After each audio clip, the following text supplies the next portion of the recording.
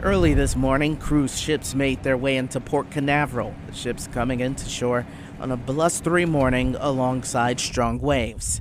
Brevard County, like other parts of central Florida, bracing for severe weather this weekend.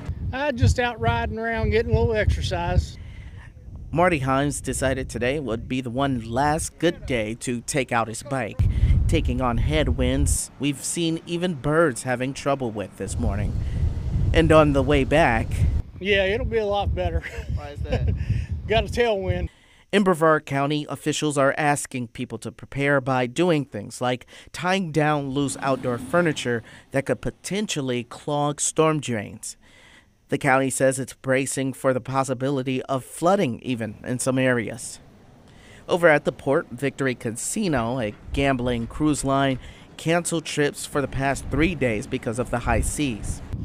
And another precaution that was taken was at Jetty Park. It closed its pier at 7 o'clock on Friday in anticipation of the storm. Right now, the plan is to reopen on Monday, hopefully after the storm has passed. At local beaches, the county is already warning people of rough surf and rip currents. Every beach in Brevard County is under a red flag warning. And if you needed another reason to avoid the beach, Satellite Beach put out a warning about jellyfish and man o' war stings.